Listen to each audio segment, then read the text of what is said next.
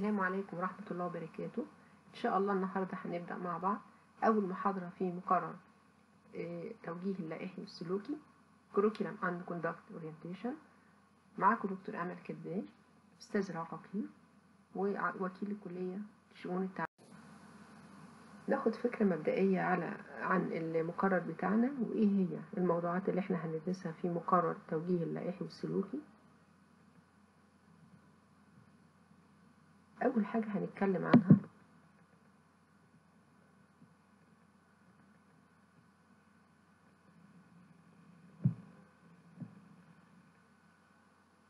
هنتكلم عن اللائحة بتاعتنا الكورسز والامتحانات وال grading evaluation وكل ما يتعلق بلائحة كلية صيدلة برنامج Pharm D هنتكلم عن قانون تنظيم الجامعات. نبذة مختصرة جدا. وهنتكلم عن ال structure of طنطا university ال structure of faculty of pharmacy والأقسام الخاصة بيهم والإدارة والبرامج اللي الكلية بتمنحها.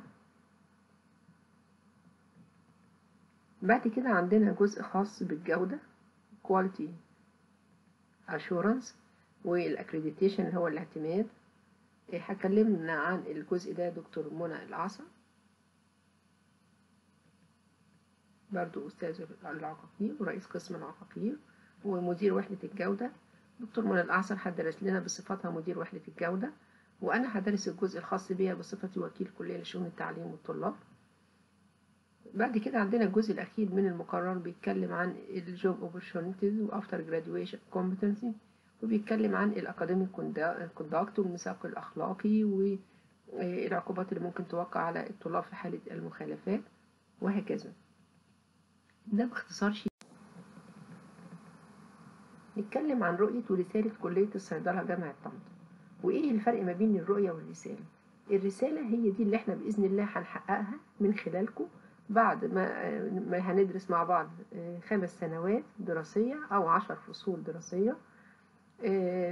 بيبقى الرسالة بتاعتنا هي تخريج صيادلة ذوي الكفاءة العالية والمهنية في ممارسة سواء الصيدلة الإكلينيكية لبرنامج الصيدلة الإكلينيكية أو مهنة الصيدلة بصفة عامة بالنسبة للبرنامج العام.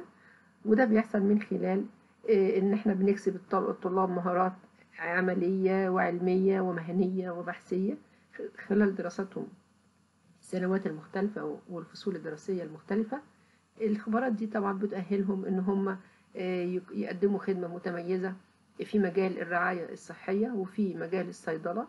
وطبعا برضو رسالتنا بالنسبة للصيدلي الكلينيك فارماسيست إن إحنا طبعا بنعمل تأكيد على دور ال clinical pharmacist في إن هو بيوصف العلاج الأمثل لل patient أو للمريض وبيعمل ترشيد استخدام الأدوية خاصة في المؤسسات الحكومية ويتجنب ال side effect بالنسبة للأدوية. وال overdose أو الجرعات الزايده والتدخلات دوائية وهكذا.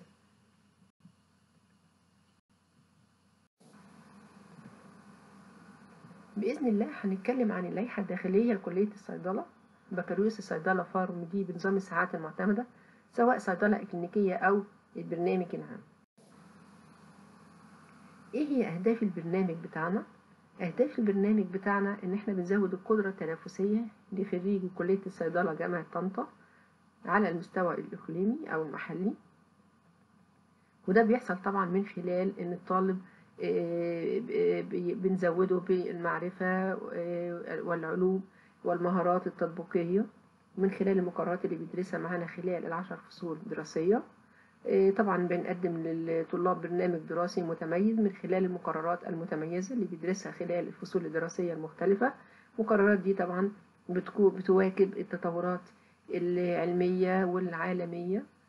وطبعا الكلية بتطبق نظام إدارة الجودة والكلية حاصلة على الاعتماد من الهيئة القومية لضمان الجودة والاعتماد. من أهداف البرنامج أيضا تدريب الطالب على أساليب التعلم الذاتي وطبعا إحنا حاليا بنستخدم نظام التعليم الهجين اللي إحنا بنخلط فيه ما بين التعليم face to face أو وجها لوجه والتعليم أونلاين أو عبر الإنترنت أو التعليم عن بعد. طبعا دي بالنسبة فرصة آه، بالنسبة لنا إن إحنا نبدأ آه، نتعلم التعليم الذاتي ونعتمد على نفسنا في إن إحنا آه، نحصل على المعلومة وإن إحنا يبقى في بينا وبين بعض آه، مناقشة ودiscussion وإن إحنا نقدر آه، نوصل للمعلومة ونستنتجها آه، بنفسنا.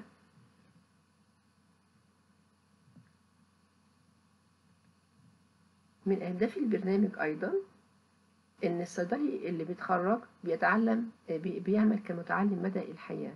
آه، بمعنى طبعا إن إحنا بعد التخرج في عندنا وحدة متابعة الخريجين ودي بتقدم عدد من الدورات التدريبية للخريجين. بيبقوا updated بكل المعلومات الحديثة عن كل المجالات التي تخص آه، مهنة الصيدلة. والحقيقة بيجي عدد كبير جدا من الخريجين والطلبة كمان على فكرة بيحضروا الدورات دي فبتكون طبعا مفيدة جدا.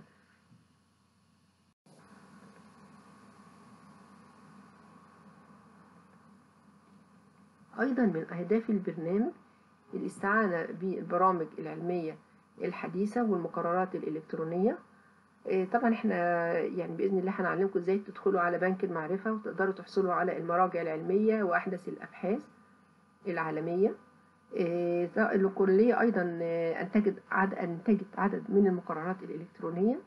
إيه، وإن شاء الله إحنا بصدد إن إحنا ننتج عدد أكتر من المقررات الإلكترونية خاصة آه، في ظل الظروف الحالية من جائحة آه، كورونا وإن إحنا آه، بنفعل التعليم عن بعد والتعليم الهجين أيضا من أهداف البرنامج إن الطالب بياخد مهارات أو بيكتسب مهارات مهنية تتعلق بمهنة الصيدلة من خلال برامج التدريب الميداني اللي هي سنة الامتياز ودي بتبقى مدتها تسع آه، شهور آه، بنتدرب فيها في مجالات مختلفة تتعلق بمهنة الصيدلة سواء مستشفيات أو مراكز بحثية وشركات أدوية ومصانع أدوية وهكذا.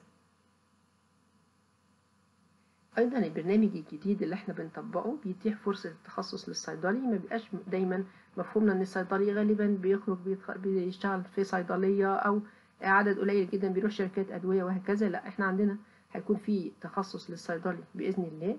إيه طبعا سواء في مجال الصيدلة الإكلينيكية ده بالنسبة لبرنامج الصيدلة الإكلينيكية أو بالنسبة للبرنامج العام برضو بيبقى في مجالات إيه، تبع مهنة الصيدلة ممكن الصيدلي يتخصص فيها ممكن في شركات الأدوية ممكن في مراكز بحثية وفي الصيدليات الأهلية ويعني تخصصات أخرى على حسب إيه، المشروع التخرج اللي الطالب إيه، بيقدمه وعلى حسب برضو إيه، فترات التدريب اللي الطالب إيه، قام بالتدريب إيه، فيها خلال إيه، سنة الامتياز. طبعا من أهداف البرنامج إن الصيدلي لازم يكون آه، ليه دور فعال في خدمة المجتمع وده هيبقى من خلال ترشيد استخدام الأدوية في المستشفيات إن أنا ممكن أشوف البديل الأقل سعرا طالما في نفس المادة الفعالة.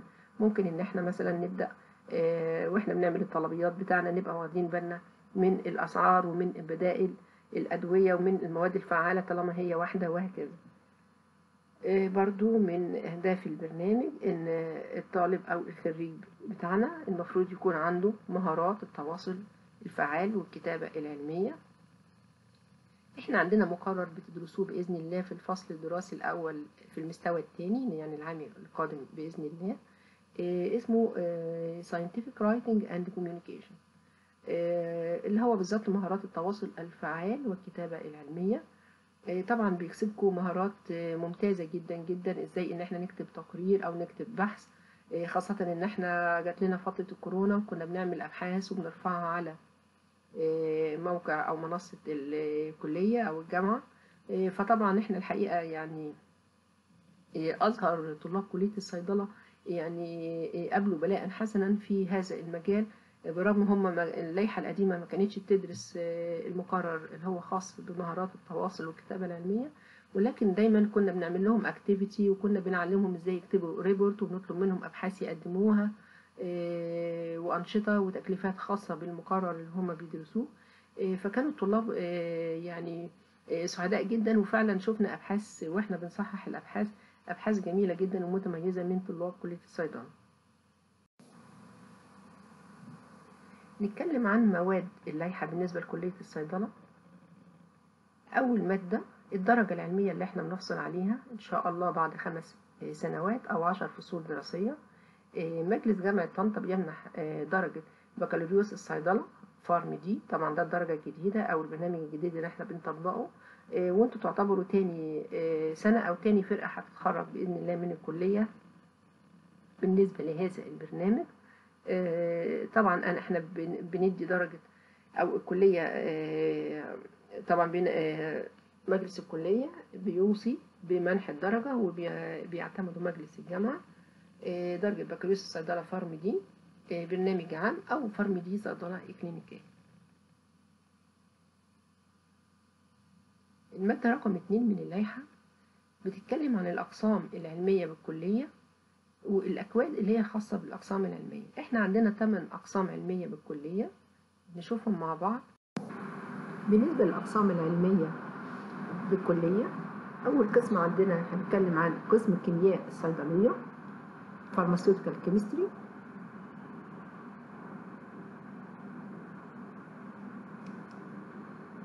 كود القسم PC القسم رقم اتنين قسم الكيمياء التحليلية الصيدلية كود PA Pharmaceutical Analytical Chemistry. قسم الكيمياء الصيدلية وقسم الكيمياء التحليلية بيقعوا في الدور الثاني من آه، مبنى الكلية. آه، قسم الكيمياء الحيوية كود PB بالنسبة لقسم الكيمياء الحيوية موجود آه، في الدور السادس. قسم التكنولوجيا الصيدلية Pharmaceutical Technology. PT يقع أيضا في الدور السادس ال- الإدارة ومكاتب الدكاترة وبرضو موجود عندنا المعامل بالدور الثالث من مبنى الكلية. قسم العقاقير pharmacognosy PG يقع بالدور الرابع بالكلية. قسم ال microbiology pharmaceutical microbiology PM وده برضو يقع الدور الرابع بمبنى الكلية. قسم الأدوية والسموم pharmacology and toxicology PO وده يقع الدور الخامس بمبنى الكلية قسم الصيدلة الإكلينيكية clinical pharmacy. نستكمل مع بعض مواد اللائحة المادة رقم ثلاثة تتعلق بمدة ونظام الدراسة. مدة الدراسة عشان نحصل على بكالوريوس الصيدلة Pharm D سواء صيدلة إكلينيكية أو برنامج عام هي خمس سنوات دراسية جامعية. أو عشر فصول دراسية بمعنى عشر فصول دراسية على الأقل وبإذن الله يكونوا عشر فصول وليس أكتر. وسنة الامتياز اللي هي السنة التدريبية اللي هي خمسة زائد واحد اللي هي السنة رقم ستة في الدراسة بتاعنا ولكن دي بيبقى عبارة عن تدريب في مواقع العمل التي تتعلق بمهنة الصيدلة. نظام الدراسة بالبرنامج هو نظام credit hours system أو الساعات المعتمدة. مادة رقم أربعة باللائحة تتعلق بشروط القبول بالبرنامج. الكلية بتقبل الطلاب بالبرنامج اللي هم حاصلين على الثانوية العامة سواء المصرية أو الشهادات المعادلة. وده بيبقى عن طريق مكتب التنسيق طبقا للقواعد التي بيحددها المجلس الأعلى للجامعات. يجوز للجنة التنفيذية قبول طلبات تحويل الطلاب اللي هم مقيدين بإحدى كليات آه، الصيدلة بالجامعات المصرية الأخرى أو الجامعات الأجنبية. ده بيبقى بشرط إن الطالب يكون مستوفي للمتطلبات الخاصة بالقبول بالكلية اللي هي بتبقى عن طريق آه، مكتب التنسيق. لو الطالب درس بعض المقررات قبل ما يحول آه، لكلية الصيدلة جامعة طنطا بنبدأ نعادل المقررات ونشوف إيه المقررات المطابقة للائحة بتاعة كلية الصيدلة جامعة طنطا. والمقررات الغير مطابقة وبناء عليه يتم التحويل ونقدر نقول إن الطالب مثلا آه، تم اعفائه من مقررات معينة وعليه دراسة المقررات الأخرى التي هي اللي هي بتبقى غير مطابقة. إيه هي اللجنة التنفيذية؟ اللجنة التنفيذية دي هي اللجنة المسؤولة عن شؤون طلاب برنامج الصيدلة الإكلينيكية. بتتكون من مين اللجنة التنفيذية؟ بتتكون من عميد الكلية، وكيل الكلية لشؤون التعليم والطلاب، منسق برنامج الصيدلة الإكلينيكية، آه، المرشد الأكاديمي أو رئيس الإرشاد الأكاديمي بالنسبة للطلاب لجميع الفرق، مدير وحدة الجودة، وممثلين من الأساتذة بالأقسام المختلفة. طيب بالنسبة للبرنامج العام اللجنة التنفيذية دي بتبقى مكانها بيحل محلها مجلس الكلية يتكون مجلس الكلية من مين؟ عميد الكلية وكلاء الكلية الثلاثة وكيل كلية شؤون تعليم الطلاب وكيل كلية للدراسات العليا ووكيل الكلية لشؤون لشؤون البيئة وخدمة المجتمع. بالإضافة إلى رؤساء الأقسام العلمية الثمان أقسام العلمية رؤساء الأقسام العلمية موجودين ثمان رؤساء أقسام. بالإضافة إلى أحد المدرسين نيابة عن جميع المدرسين بالكلية مدرسين يعني المدرس هو عضو هيئة التدريس الذي حصل على درجة الدكتوراه. بالإضافة إلى أحد الأساتذة المساعدين نيابة عن جميع الأساتذة المساعدين بالكلية والأستاذ المساعد هو عضو هيئة التدريس الذي تم ترقيته إلى درجة الأستاذ المساعد. بالإضافة إلى بعض الأطراف المجتمعية زي مديري بعض شركات الأدوية أو مديري بعض المستشفيات التي يتم تدريب الطلاب فيها. دول طبعا بنستند إلى رأيهم وبنحتاج مشورتهم في الأمور التي تتعلق بالطلاب وبالتدريب وهكذا وفي سوق العمل وكده. يبقى إحنا كده عرفنا اللجنة التنفيذية التي تهتم بشؤون أو المسؤولة عن شؤون طلاب برنامج الصيدلة الإكلينيكية ومجلس الكلية وهو بيبقى مسؤول عن كل الأمور التي تتعلق بالكلية بما فيها طلاب برنامج بكالوريوس الصيدلة أو هو البرنامج العام.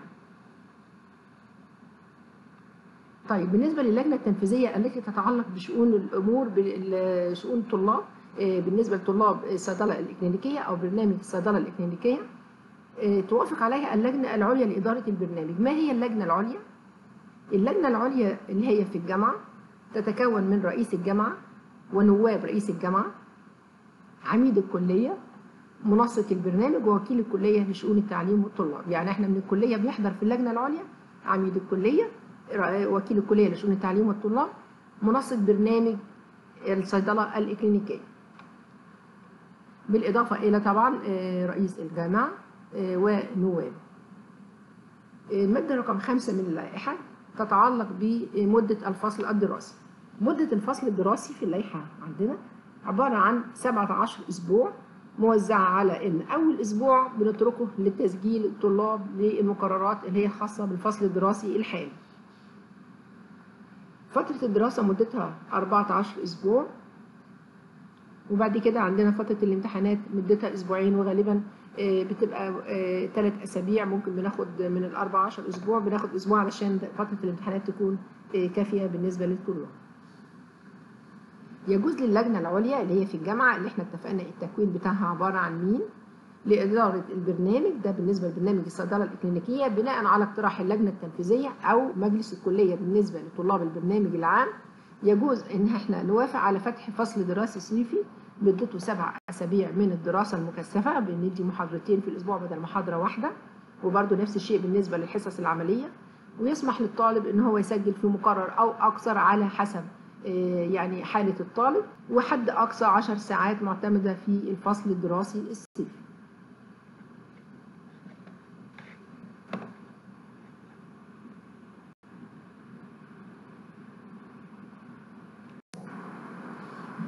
المادة رقم ستة من اللائحة تتكلم عن الساعة المعتمدة. ما هي الساعة المعتمدة؟ الساعة المعتمدة هي وحدة قياس دراسية تعادل ساعة دراسية أسبوعية نظرية أو درسا عمليا لا تقل مدته عن ساعتين كل أسبوع وتدرس على مدى فصل دراسي واحد. طيب خلينا ناخد اكزامبل مع بعض أو مثال. أنا عندي مثلا مادة النباتات الطبية. إحنا بندرسها ساعتين أسبوعيا بالنسبة للمحاضرة. الساعتين المحاضرة بنحسبهم بساعتين معتمدة. يعني الساعتين المحاضرة يعني اتنين يعادل اتنين ساعة معتمدة طيب ساعتين عملي بندرس مادة نباتات طبية لمدة ساعتين عملي كل أسبوع. ساعتين العملي يعادلوا ساعة معتمدة واحدة. معنى كده إن total hours بالنسبة لمادة مقرر النباتات الطبية هو 3 credit hour 3 ساعات معتمدة. عندي ساعتين المحاضرة بيتحسبوا ساعتين زي ما هم. ساعتين العمل بنحسبهم ساعة واحدة معتمدة. وبالتالي يبقى عندي ال total credit hour بالنسبة للمقرر عندي 3 ساعات. وقياسا عليه نقدر نقيس بقية المقررات الأخرى. وطبعا ده يدرس أسبوعيا على مدار الفصل الدراسي. طيب نشوف المادة اللي بعد كده عندي بالنسبة إلى بالنسبة للغة الدراسة.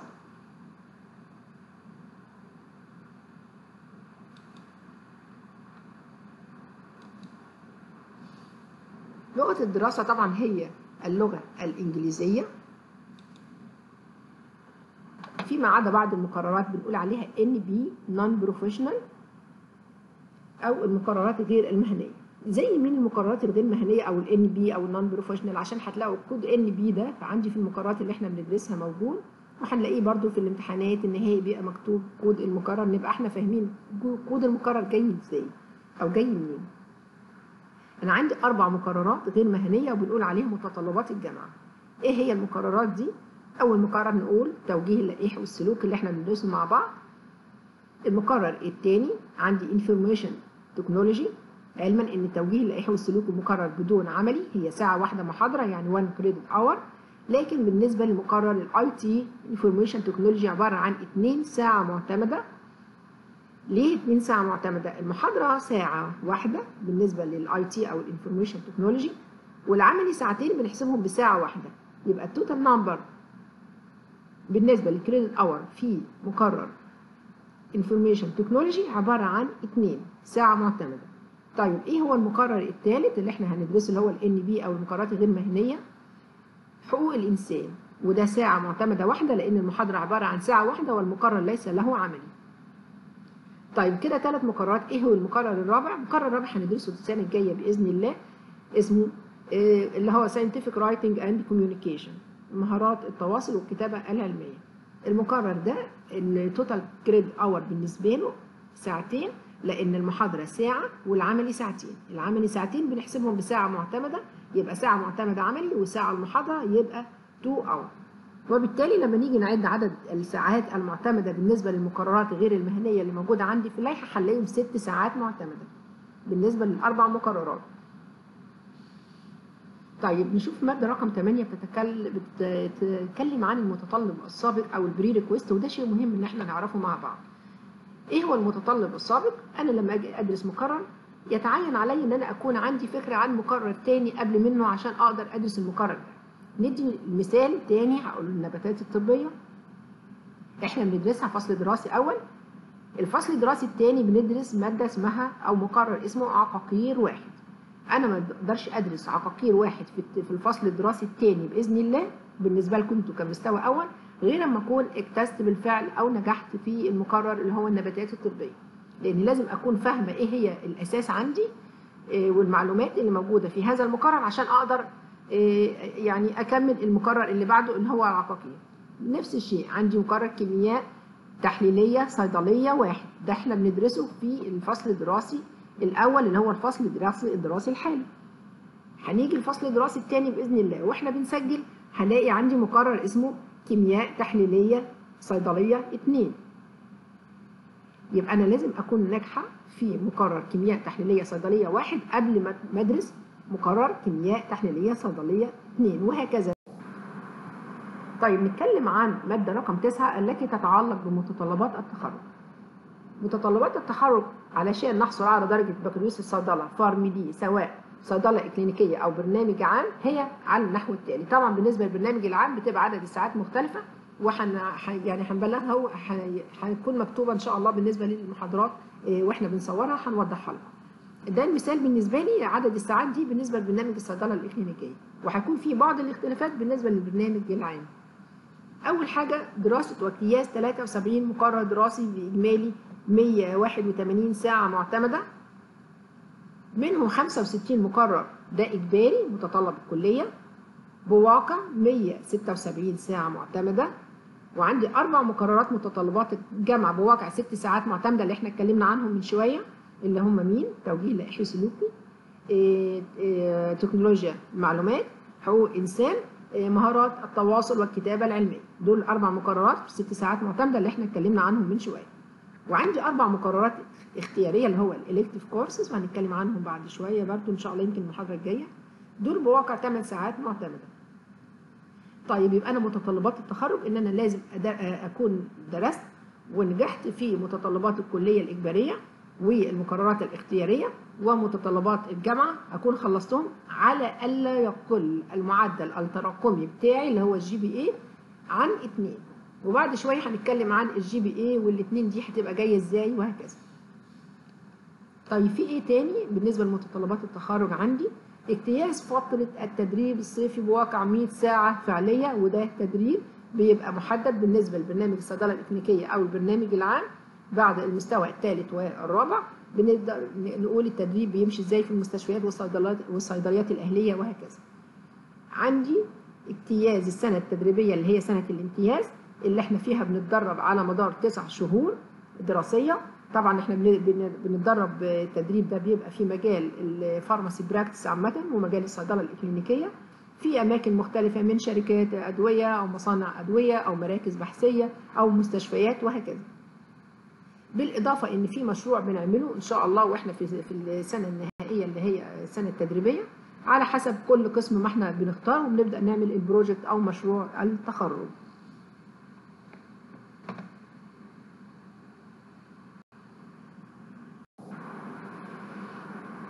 نتكلم عن العبء الدراسي. العبء الدراسي هو عدد الساعات المعتمدة اللي إحنا بنسجلها في كل فصل دراسي. المفروض إن إحنا نراعي إن العبء الدراسي ما يقلش عن 12 ساعة في الفصل الدراسي الأول أو الثاني الفصل الدراسي الأول اللي بنقول عليه الفصل الدراسي الخريفي أو الربيعي اللي هو الفصل الدراسي الثاني وبرده ما يزيدش العبء الدراسي عن 20 ساعة معتمدة. يوم هو بيتراوح تقريبا من 17 إلى 20 ساعة معتمدة ده بالنسبة للعبء الدراسي اللي هي عدد الساعات المعتمدة اللي إحنا بندرسها في كل فصل دراسي. طيب بالنسبة للفصل الصيفي زي ما إحنا اتفقنا حد أقصى عدد الساعات هم 10 ساعات معتمدة. يجوز للجنة العليا لإدارة البرنامج ده بالنسبة لبرنامج الصيدلة الإكلينيكية. بناء على اقتراح اللجنة التنفيذية برضو بالنسبة لبرنامج الصيدلة الإكلينيكية ده بالنسبة للبرنامج العام ده بيبقى عبارة عن مجلس الكلية واللجنة العليا دي بتبقى عبارة عن مجلس الجامعة. يجوز لهذه اللجان والمجالس السماح للطالب في آخر فصلين دراسيين. يعني لما نيجي بقى بعد ما بنخلص المستوى الرابع آخر فصلين دراسيين قبل التخرج إن إحنا نزود العبء الدراسي عن الحد الأقصى لو كان الطالب محتاج ذلك في حدود عدد ثلاث ساعات معتمدة.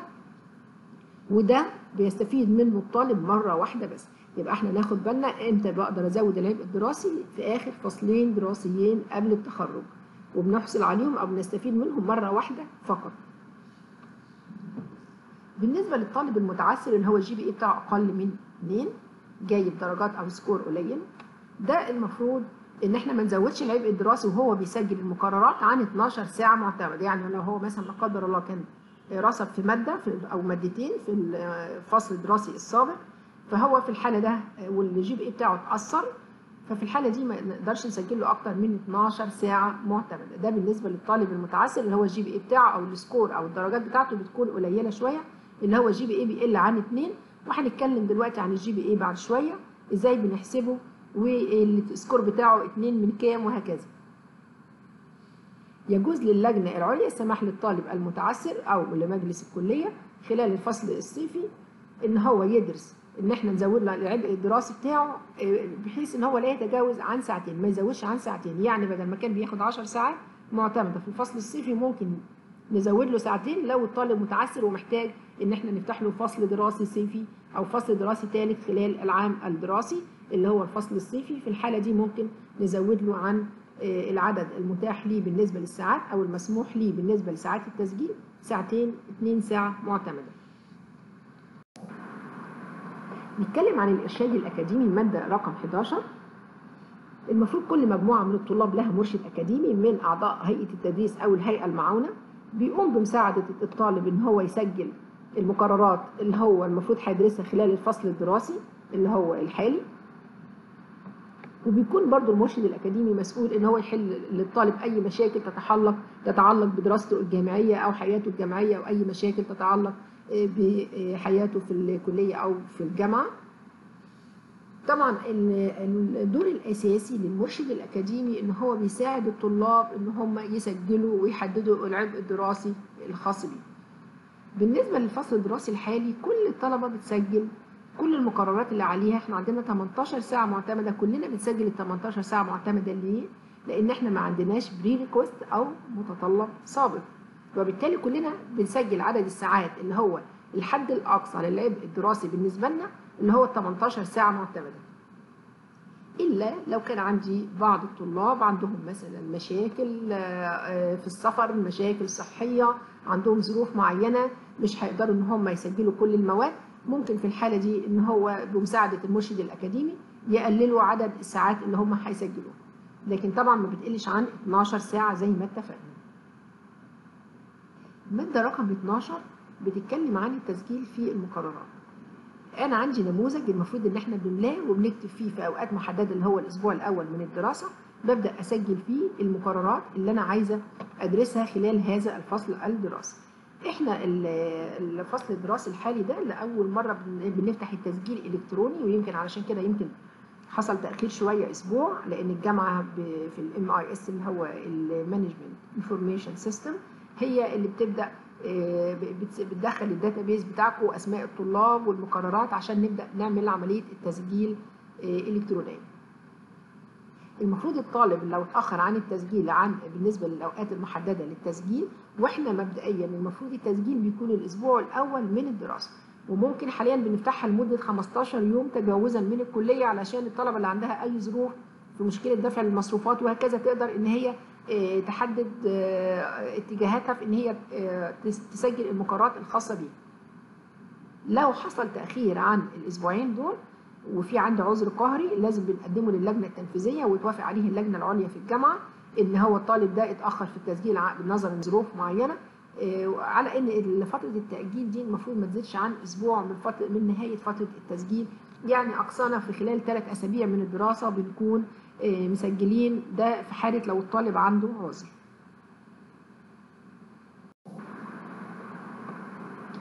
طبعا كل طالب بيقوم بتسجيل المقررات التي يرغب إن هو يدرسها بمساعدة المرشد الأكاديمي زي ما اتفقنا. ولكن ولكن عندي شرط أساسي إن الطالب عشان يسجل المقررات يكون نجح في ال prerequisite بالنسبة لنا إحنا كأول فصل لينا في الكلية ما عنديش prerequisite وبنسجل كل المقررات. هنيجي الفصل الدراسي الثاني بإذن الله لا قدر الله اللي ما نجحش مثلا في مادة كيمياء عضوية واحد مش هيقدر يسجل مادة كيمياء عضوية اثنين وهكذا.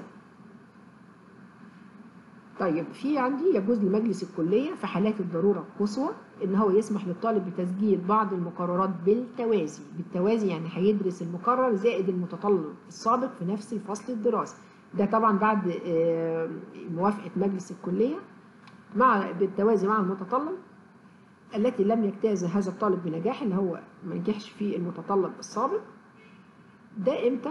إذا قل العبء الدراسي المتاح للطالب عن 12 ساعة معتمدة، يعني الطالب عندي جاي يسجل الفصل الدراسي الثاني بإذن الله ومش قادرين نسجل له حتى مش قادرين نوصل في التسجيل بتاعه ل 12 ساعة معتمدة. ليه المشكلة دي؟ لأن هو في بعض المقررات ما نجحش فيها الفصل الدراسي السابق. ممكن نسمح له إن هو يسجلهم بالتوازي. تمام بس على شرط إن الطالب ده ما يكونش طالب متعسر. ال GPA بتاعه يكون كويس بس هو عنده مشكلة مشكلة ما في أحد المقررات رصف فيها ما قدرش ينجح فيها ولكن ال GPA بتاعه كويس معقول ما هوش متعسر ولو ما سجلش المتطلب مع المقرر اللي هو هيدرسه مع بعض بالتوازي في الحالة دي هيقل عدد الساعات عن 12 ساعة معتمده في الحالة دي مع المرشد الأكاديمي بيقدر يصحح له المسار بتاعه ونقدر نسمح له إن هو يسجل المقررين مع بعض بالتوازي لو هو عدد الساعات اللي هيسجلها أقل من 12 ساعة. طيب بالنسبة للحذف والانسحاب بعد التسجيل بنسيب أسبوع للحذف والإضافة. إن هو ممكن حد بعد ما سجل مقرر عايز يحذفه ظروفه مش سامحة يدرسه الترم ده وعايز يحط مقرر تاني أخف منه أو العكس. فعلى حسب كل طالب بعد ما بيسجل ممكن يحذف مقرر بعد ما سجله أو يضيف مقرر بس طبعا هيضيف مقرر بحيث إن هو ما يزيدش عن الحد الأقصى لعدد الساعات المتاحة ليه في هذا الفصل الدراسي. فإحنا ممكن نسمح أو اللائحة بتاعنا هتسمح بالحذف والإضافة على حسب ظروف كل طالب بعد التسجيل بأسبوع، الأسبوع التالي للتسجيل مباشرة. نتكلم على المادة رقم 14 التي تتعلق بالمواظبة في الدراسة والامتحان.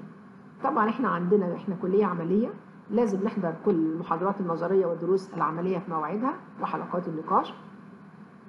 يسمح لنا بالغياب بنسبة بحيث إن النسبة دي ما تزيدش عن 25% يعني لازم أحضر 75% من إجمالي عدد الساعات المعتمدة ليا في الفصل الدراسي عشان يسمح لي بدخول الامتحان النهائي. وإلا لن يسمح بدخول الامتحان النهائي. يبقى أنا عندي الحضور لازم أحضر على الأقل بنسبة 75% وإلا سيتم الحرمان من دخول الامتحان النهائي. المادة دي جالي تعديل المادة وجالنا بالفعل قرار مجلس جامعة بتعديل إن إحنا زودنا في المادة دي إن إحنا بنسمح بنظام التعليم الهجين. ما هو التعليم الهجين؟ التعليم الهجين اللي هو التعليم الذي يدمج أو يعني يجمع بين التعليم وجها لوجه face to face زي ما بندخل معاكم كده المحاضرات وبنشرح زائد التعليم عن بعد. يبقى أنا عندي زي ما إحنا كده بنقسم الطلاب مجموعة بتيجي تحضر الأسبوع الأول والمجموعة الثانية بتسمع المحاضرة أونلاين الأسبوع الثاني المجموعة الثانية تيجي تحضر face to face والمجموعة اللي هي المفروض مش معايا في المدرج دي بتشوف المحاضرة أونلاين وهكذا. فده اسمه تعليم الهجين إن أنا بدرس جزء وجها لوجه وجزء أونلاين والمفروض على إن إحنا ككلية عملية التدريس اللي هو وجها لوجه أو face to face ده بيبقى من 60 ل 70% في حين الأونلاين بيبقى من 30 ل 40% إيه تاني كمان حصل تعديل بالنسبة للمادة دي في اللائحة؟ حصل تعديل قالوا إن إحنا ممكن نسمح بالامتحانات الإلكترونية في بعض المقررات أو أحد المقررات أو جزء من المقرر. يبقى إحنا نتوقع ممكن يبقى يعقد بعض الامتحانات الكترونيا وطبعا هنفهمكم إزاي الكترونيا عن طريق الإنترنت بتبقى في برامج معينة وسوفت وير معينة أو بتيجوا الجامعة عن طريق أجهزة الكمبيوتر وهكذا.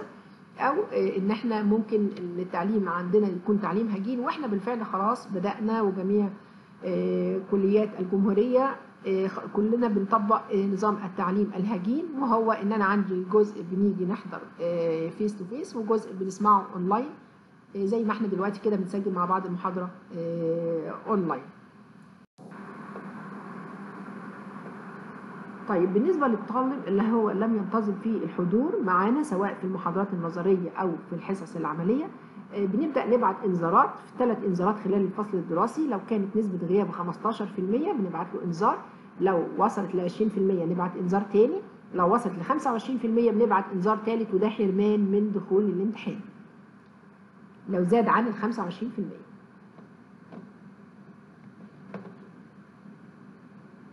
طبعا اللجنة العليا من حق ان هي تحرم الطالب من التقدم للامتحان التحريري النهائي لو تجاوزت نسبة غياب هذا الطالب عن 25% اللي هي النسبة المحددة عندي في اللائحة. ولازم الطالب لو هو هيغيب أكتر من 25% لو عنده عذر بيقدمه ولازم العذر دوت يتم قبوله من اللجنة التنفيذية واللجنة العليا أو من مجلس الكلية بالنسبة للبرنامج العام. طبعا الطالب يجب عليه إن هو يؤدي الامتحانات التحريريه النهائية في المواعيد المقررة على حسب جدول الامتحانات. ولو حصل إن الطالب تغيب تغيب عن أحد الامتحانات آه لا لازم إن هو يكون يقدم عذر قبل نهاية الامتحانات. والعذر ده لابد إن هو آه يكون مقبول من قبل اللجنة التنفيذية واللجنة العليا أو من قبل مجلس الكلية. يبقى الطالب اللي هيغيب بدون عذر بيعتبر راسب. اللي هيغيب بعذر هيعتبر برضه راسب ولكن العام القادم أو الفصل الدراسي اللي بعديه لما يجي يدخل المقرر ده هيحتفظ هيحتفظ بالتقدير بتاعه. ولكن الطالب لو رسب في لو غاب بدون عذر بيجي بعد كده يعتبر كأن هو اتحسبت عليه مرة وبالتالي بيبدأ يتخفض التقدير بتاع الطالب للحد الأدنى اللي هو المقبول تقدير مقبول.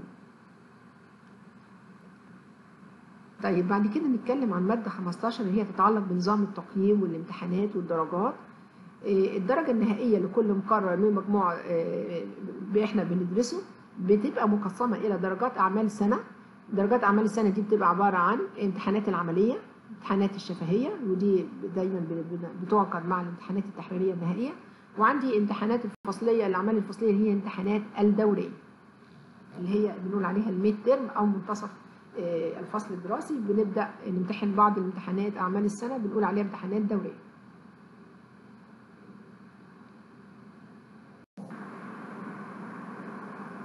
علشان ننجح في أي مقرر لازم أكون حصلت على 60% على الأقل من مجموع درجات هذا المقرر. بعد ما بجمع درجة العملي ودرجة أعمال السنة اللي هو الامتحانات الدورية ودرجة الشفوي لازم أحصل على 60% على الأقل. ولكن بشرط إن درجة التحريري اللي هي بتمثل في معظم مقرراتنا 50% من الدرجة يعني إحنا عندنا المقررات ال total point فيها أو الدرجات النهائية لكل مقرر 100 درجة. المقررات اللي لها عملي آه، ولها midterm لها امتحانات دوريه طبعا إحنا عندنا في اللائحة مقسم آه، عندنا في الجداول آه، بتقول لنا في الجداول كل مقرر في في midterm درجته قد إيه والعملي درجته كام والشفوي درجته من كام والتحريري من كام وهكذا. فأنا عندي التحريري مثلا لو هنقول مادة زي النباتات الطبية أو الكيمياء التحليلية واحد. عندي دلوقتي مقسمة إلى العملي والشفوي. والدوري الامتحانات الدورية دول عليهم 50% من المقرر التحريري 50% لو إحنا ما حصلناش ال 50% دول يعادلوا 50 درجة. لو إحنا ما حصلناش على 30% من ال 50 درجة يعتبر طالب ضعيف جدا راسب لائحة. بمعنى هو لو حصل على أقل من 30% من ال 50 درجة بتوع المقرر بتاعي معنى كده إن إحنا مش هنجمع له بقية أعمال السنة. هو ممكن يكون هو ال 50% دي ال 30% من 50 درجة كام درجة؟ 15 درجة. تمام؟ يبقى الطالب لازم يكون جايب 15 من 50 في التحريري عشان نقدر نجمع له درجات العملي ودرجات الدوري ودرجات الشفوي. طيب افرض الطالب جايب مثلا 13 من 50 ولكن كان جايب الدرجات النهائية في امتحان الدوري والدرجات النهائية في امتحان العملي والدرجات النهائية في امتحان الشفوي بحيث إحنا لو جمعنا له الدرجات دي كلها هيجيب ال 60% مش ممكن ينجح؟ لا مش ممكن ينجح. حتى لو درجاته عدت ال 60% ولكن كان جايب أقل من 30% من امتحان التحريري في المقرر في الحالة دي هنقول راسب لائحة ضعيف جدا. ما مش هنجمع له الدرجات. يبقى لازم أهم شيء أكون حاصلة على 30% على الأقل من درجة التحريري لكل مقرر علشان نبدأ نجمع بقية درجات أعمال السنة ونشوف التقدير النهائي للمقرر هيبقى قد إيه.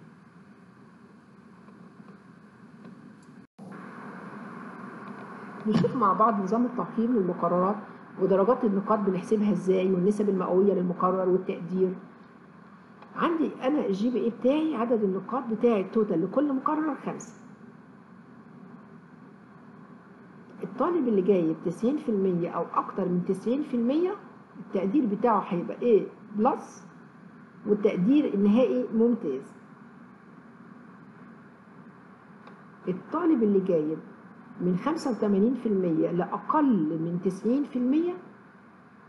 90% ده عدد النقاط بتاعه هتتراوح من 4.5 إلى 5 بالنسبة لعدد النقاط أو اللي بنقول عليها ال GPA ال GPA اللي هي grade point average اللي هو مجموع نقاط الدرجات بالنسبة للمقرر وده وال GPA اللي بنتكلم عنه في نظام الساعات المعتمدة بس credit hour system بس. طيب لو هو جاي من 85% في المقرر لأقل من 90% التقدير بتاعه هنقول عليه A ليس A plus A وبرضه هنقول عليه ممتاز. طيب لو أنا جايبة 86% هنا عدد النقاط هتبقى كام في المقرر؟ هتبقى أربعة وستة من عشرة. يعني أنا بزود واحد من عشرة في عدد النقاط مقابل واحد في المية بالنسبة للمئوية للمقرر طب لو أنا جايبة سبعة وتمانين في المية. حاجة هنا يبقى أربعة وسبعة من عشرة. يبقى كل واحد في المية بزوده بزود هنا قصاده point one أو واحد من عشرة. تمام كده؟ هنا بقى بنوصل لحد تقدير ال F وإن شاء الله كلنا ما نجيبش F خالص. معناها راسب معناها إن الطالب حصل على أقل من 60% ومعناها إن ال GPA أقل من 2 وهنا بقول الطالب متعثر.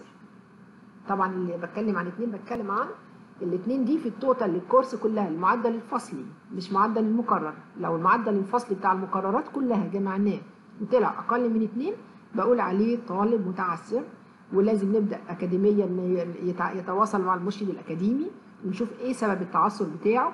وفي الحالة دي هيسجل عدد ساعات أقل لما نيجي نسجل في بداية الفصل الدراسي علشان ما يبقاش متعثر ويقدر يخلص كل الاعباء اللي عليه. طيب نيجي نشوف كده حساب المعدل الفصلي للطالب اللي هو ال GPA grade point average زي ما اتفقنا أو المعدل الفصلي للطالب. بنحسبه إزاي؟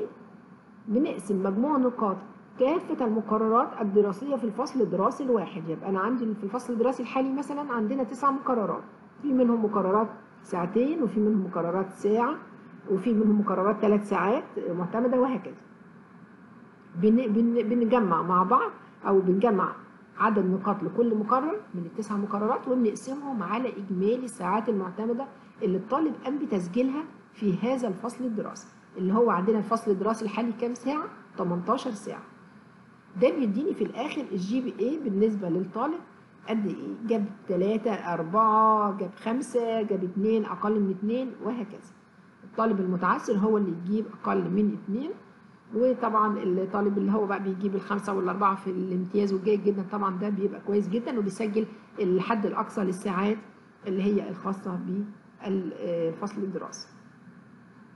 هنقف لغاية النهارده بالنسبة للمحاضرة إن شاء الله. وهنكمل المحاضرة الجاية. شكرا جزيلا ليكم. وبالتوفيق إن شاء الله. وكل سنة وأنتم طيبين. إن شاء الله عام دراسي موفق وفصل دراسي موفق بإذن الله.